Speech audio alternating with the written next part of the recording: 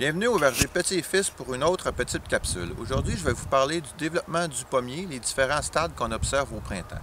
Ici, on a un arbre qui vient d'être planté. On peut voir que les bourgeons sont refermés. Ils sont à l'état de dormance. Ils passent l'hiver comme ça. Au printemps, quand la température augmente, le bourgeon éclate et là, les petites feuilles apparaissent. Ça se produit à 79 degrés jour.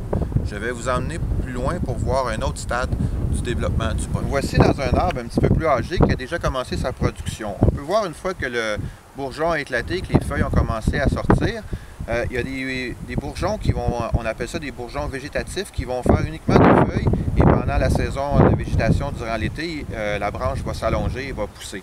Tandis qu'on a des, des, bourgeons aussi qui font des fruits, on appelle ça des bourgeons à fruits. Et ici, on peut voir que les boutons sont tous déployés. Euh, on appelle ça au stade bouton vert. Par la suite, on va passer ça au stade bouton rose pour nous amener vers la floraison. on va aller justement voir un bouton qui est plus avancé, pratiquement en fleur.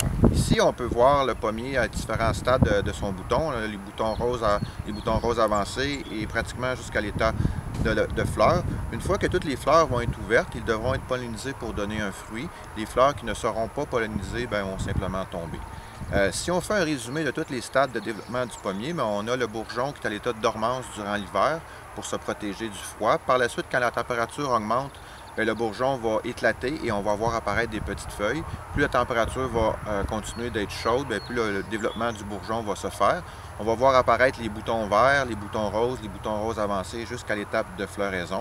Une fois en pleine floraison, mais la fleur devra être pollinisée pour donner un fruit. Si la fleur n'est pas pollinisée, ben, elle va simplement tomber, il n'y aura pas de fruit euh, sur ce bouton-là. C'était le stade de développement du pommier au verger petit.